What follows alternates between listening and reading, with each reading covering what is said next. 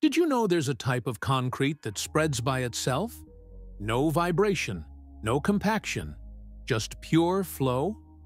It's called self-compacting concrete, and it's changing how we build everything from skyscrapers to bridges.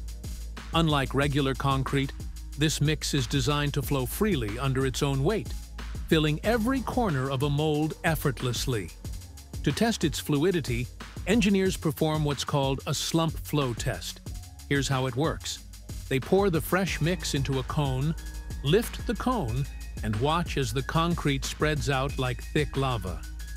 The diameter of that spread, usually between 600 to 800 millimeters, shows how well it can flow without separating or cracking. This technology saves time, improves surface quality, and reduces noise and labor on site. It's concrete, but smarter.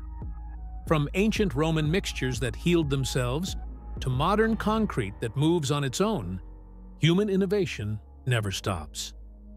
Follow Past Meets Future for more engineering magic that connects history to high tech.